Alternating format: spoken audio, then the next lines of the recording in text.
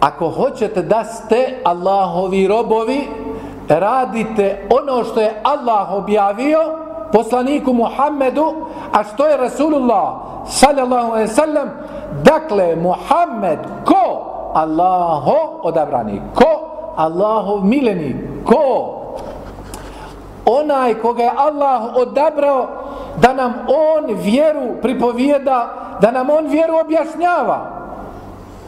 Pa od koga ćemo mi? Nećemo ono što nam je od Rasulullah jer kažemo to je, to je surovo.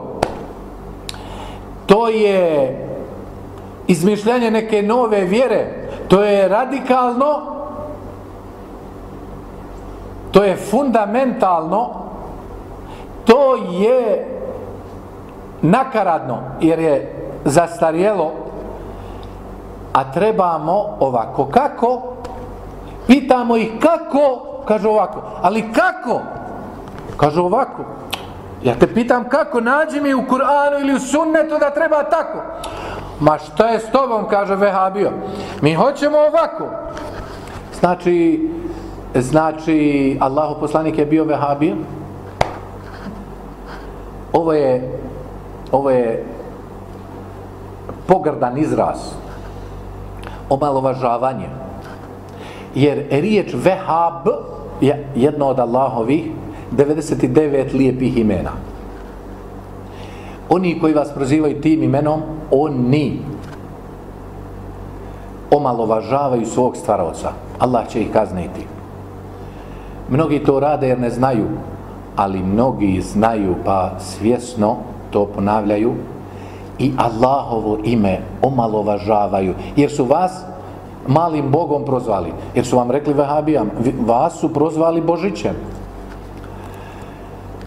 e dakle ako hoćete da ste Allahovi robovi praktikujte ono što je Allah propisao a što nam je Rasulullah s.a.v. objasnio to je dovoljno Bićete Allahovi robovi zaslužit ćete džennet na sudnjemu danu će vam vrata otvorena biti. Niko vas neće pitati zašto nisi praktikovao novotarije i ono što su ti ostali nadživali. Što to ne pripada našoj vjeri? Da je to pripadalo našoj vjeri, ko bi prije Rasulullaha sallallahu alaihi sallam to tako radio i praktikovao? Ako nam nije od Allaha, ako nam nije od Rasulullaha sallallahu alaihi sallam, ako nam nije od Islama, od koga nam je? Od pagana.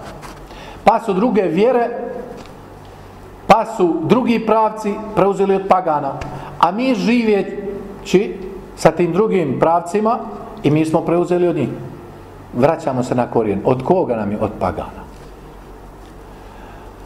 Pa radujte se ako vas neko napadne a vi ste na Allahovom putu.